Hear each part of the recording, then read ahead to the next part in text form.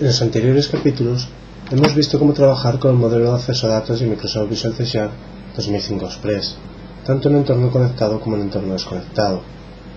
Además, hemos visto cómo usar y trabajar con la clase dataset.